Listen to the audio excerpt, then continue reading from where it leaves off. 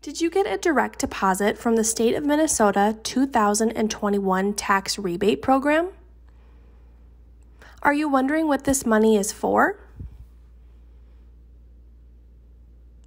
In May, the Minnesota State Legislature approved a one time tax rebate of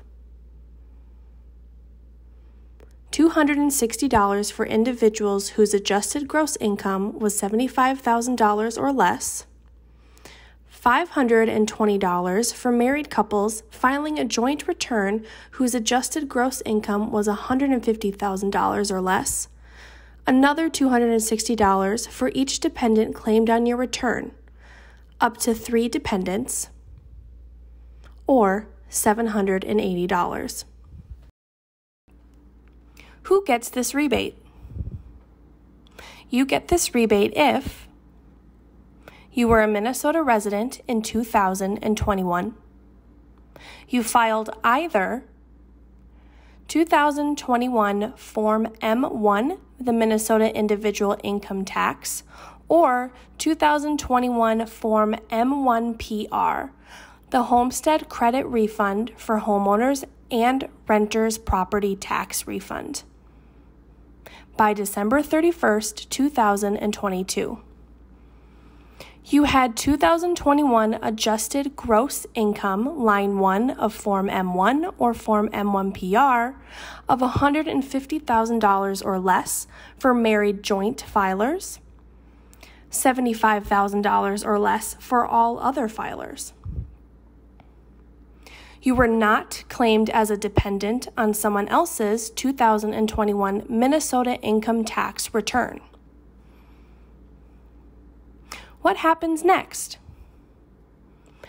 The Minnesota Department of Revenue will send the rebate payment to the bank account or the mailing address on your 2021 income tax or property tax refund return.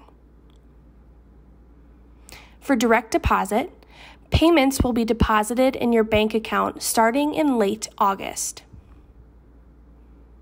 The payment will say State of Minnesota 2021 Tax Rebate Program on your bank statement.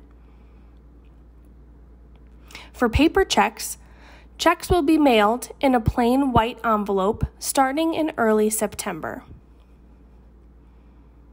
All checks should be mailed out by the end of September.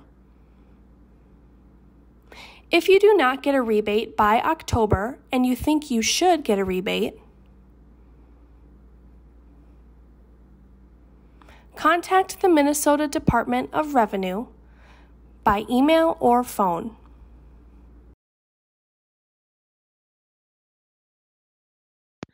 Learn more by contacting DHHSD, Voice or Preferred Relay Service 651 431 5945 or 800 657 3663.